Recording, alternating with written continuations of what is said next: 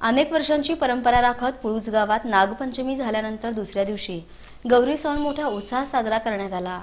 अनेक वर्षांची परंपरा राखत पुळूस गावात नागपंचमी झाल्यानंतर दुसऱ्या दिवशी गौरी सण साजरा केला जातो. सकाळी वाजत गाजत कुंभाराच्या घरून गौरींना सुखरूप आणलं जातं. त्यांची पूजा केली जाते. म्हमाणे पांढरे गावडे पाटील या चार घराण्यांना गौरीचा मान आहे. गौरीचा बप्पा भोसले यांना मान आहे. वाजत गाजत गावातून गौरी निघतात.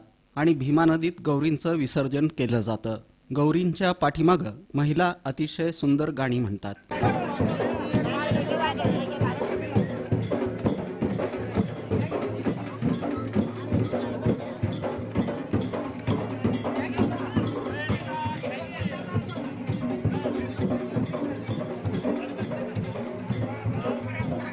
ही परंपरा खूप जुनी आहे. ती सध्याही चालू आहे. यावेळी गावातील सर्व भाविक भक्त मोठ्या प्रमाणात उपस्थित होते.